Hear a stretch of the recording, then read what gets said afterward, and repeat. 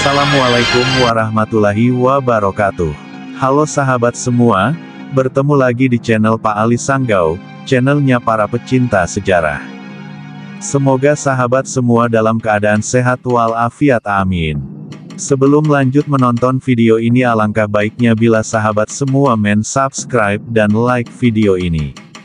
Pada video kali ini akan mengisahkan tentang Empu Sindok. Empu Sindok atau Sindok dikenal juga dengan nama Dia. Sindok adalah raja yang memindahkan pusat kekuasaan kerajaan Medang periode Jawa Tengah dari bumi Mataram ke Jawa bagian timur, pusatnya berada di Kabupaten Nganjuk. Bisa dikatakan Empu Sindok bergelar Ri Maharaja Rake Hino Dia Sindok Risana Wikrama Darmo Tungadewa Wijaya, merupakan cikal bakal dari bumi Anjuk Ladang, yang sekarang bernama Kabupaten Nganjuk memerintah sekitar tahun 929 sampai 947.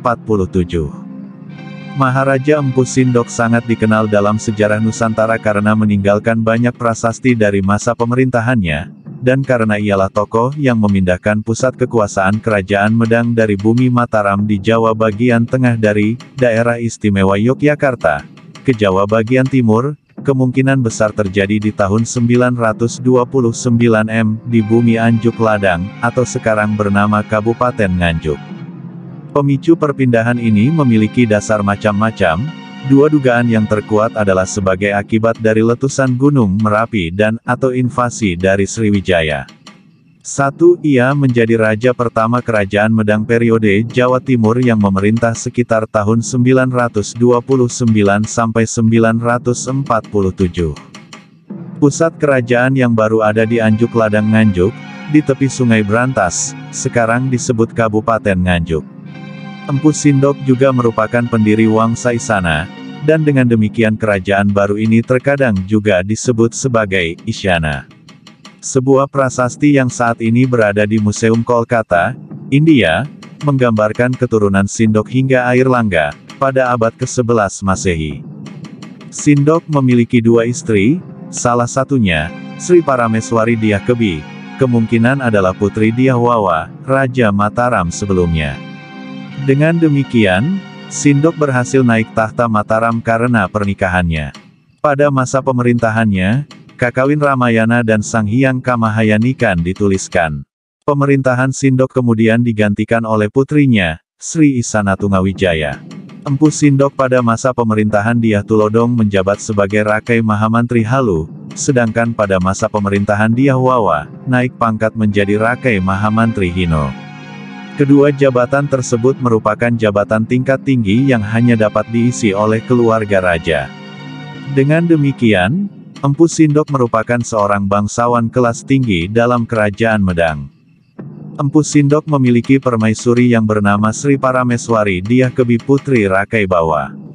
Sejarawan Purbatcaraka menganggap Rakai Bawa sama dengan Diah Wawa. Dengan demikian, Empu Sindok dianggap sebagai menantu Diah Wawa. Namun, Rakai Bawa adalah nama suatu jabatan, sedangkan Diah Wawa adalah nama orang, sehingga keduanya tidak bisa disamakan. Stutterheim menemukan tokoh Rakai Bawang Empu Dia, yaitu seorang pejabat zaman pemerintahan Empu Daksa. Menurutnya, Empu Parta ini lebih tepat dianggap sebagai ayah Dia Kebi daripada Dia Wawa. Selain itu ditemukan pula nama Rakrian Bawang Dia Srawana yang bisa juga merupakan ayah Dia Kebi. Istana Kerajaan Medang pada awal berdirinya diperkirakan terletak di daerah Mataram, dekat Yogyakarta sekarang. Kemudian pada masa pemerintahan Rakai Pikatan dipindah ke Mamrati, daerah Kedu. Lalu, pada masa pemerintahan Dia Balitung sudah pindah lagi ke Poh Pitu, masih di sekitar Kedu. Kemudian pada zaman Dia Wawa diperkirakan kembali ke daerah Mataram. Empu Sindok kemudian memindahkan istana Medang ke wilayah Jawa Timur sekarang. Dalam beberapa prasastinya, ia menyebut kalau kerajaannya merupakan kelanjutan dari kerajaan Medang di Jawa Tengah. Misalnya, ditemukan kalimat kitab Prasida Mangraksa Kadatuan Rahyang Tai Bumi Mataram I Anduk Ladang Nganjuk. Menurut teori Van Bamelen, Istana Medang di Mataram hancur akibat letusan Gunung Merapi yang disertai gempa bumi dan hujan material vulkanik. Tidak diketahui dengan pasti apakah bencana alam ini terjadi pada masa pemerintahan Diahwawa ataukah pada pemerintahan Empu Sindok. Empu Sindok memimpin penduduk Medang yang selamat pindah ke timur. Ia membangun ibu kota baru di daerah Tamolang, Prasasti Turian, 929.